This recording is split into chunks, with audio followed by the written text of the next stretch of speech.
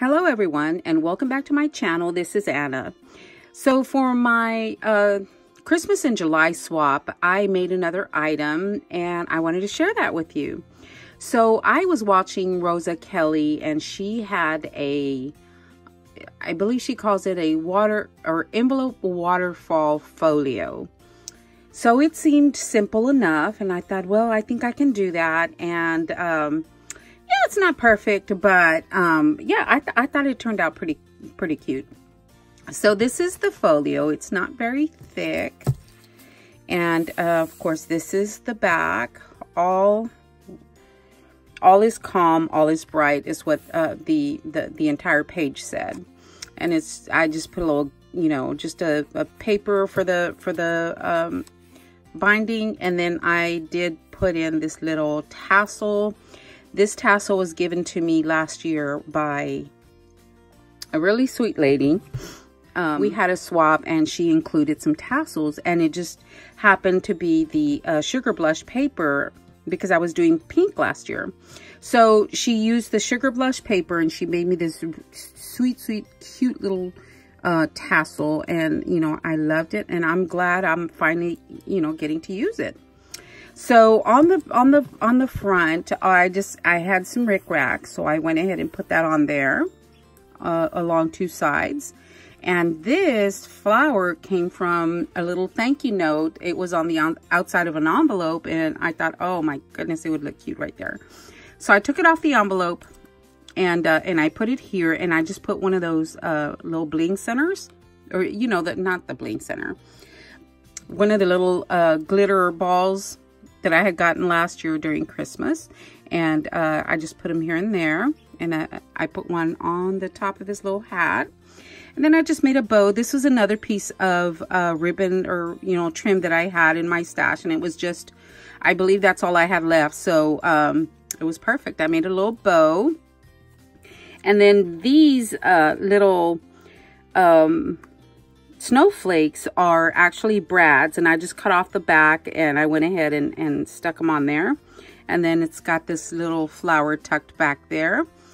And then I put these little uh, water droplets. I, I believe it's what we're calling them. So I put them on the gold dots here. And um, yeah, these are all um, they're they're clear so I just put them on there and of course the the color shines through and I put one in the center of the snowflake. And I didn't do anything else to this guy. I thought he was so adorable. Um so yeah I just left him alone. All I did was put the bling on his little hat. So when you open the folio I'm gonna move this. When you open the folio it's got this page here. I just put um a couple of mats down. Of course, the one that goes on the page itself. And then uh, I matted that and then added this. All is, um, all is calm, all is bright, like what's on the back. Except this was a cut apart. So I went ahead and cut it out and I did a pink mat. I went around the edges with the gold marker and um, and that's all I did. The, you know, the recipient, she can um, choose to put a picture over that if she'd like. So the envelopes are, as you can tell, not perfectly straight, but you know, it is what it is. Um, so I matted both sides of the envelopes and then I put a little strip here to hide that little gusset. So those are my, um, my, my waterfall pages. And what I did wrong was when I look at Rosa Kelly's, um, tutorials, I always have to keep in mind that she has, she uses her paper, her trimmer a little differently. She positions it a little differently than I do. So when she was cutting her envelopes down to size, I accidentally cut the wrong end. So I use them anyway. Um, so I, I, believe she doesn't mat the bottom of hers or, or she may, she may, but, um, this is actually the back side of the envelope and which should be on this side and it isn't um, because I cut the opening on the wrong side. Let me see. You can see that's all solid right there and you can see where on this side this is the back. But I mean, you know, the, the functionality of it still is the same. So, and on the mats, what I did was I just cut pink cardstock. I was going to do uh, the 110 pound cardstock, but um, I didn't want this to get too bulky because I did, um, you know, mat both sides. So I said, no, it's going to get bulkier once, pic uh, you know, pictures go in there. So I chose to leave it that way.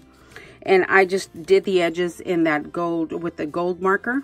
And all the pages are the same. Well, you know, they're all, they're all just plain. They don't have any other decoration other than the, uh, the paper itself. And on the last page, I went ahead and um, made a little pocket with one of the pages.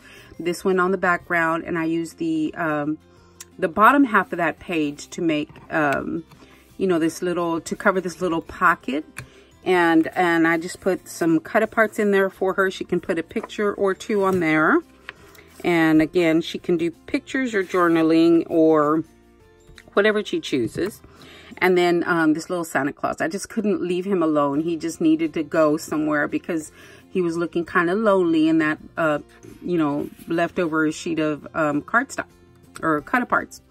So that is what I have, another item that I have made for my partner. I still need to put my ticket on there, but that is another item that I have made for my partner. I hope you guys enjoy this. You know, I am going to link uh, Rosa's tutorial in the description box because it is a really good one and it is it goes really really quick um i mean like i made this in under an hour probably um along with all the all the matting and and all that so um yeah it, it goes really quick guys i hope you have enjoyed my um my project share and I think in the next one, I will show you another item that I have made for my partner. And, and then I think in the end, I'll probably show you how I am packaging everything up. All right, guys, thank you so much for watching, and I will talk to you later. Have a great day.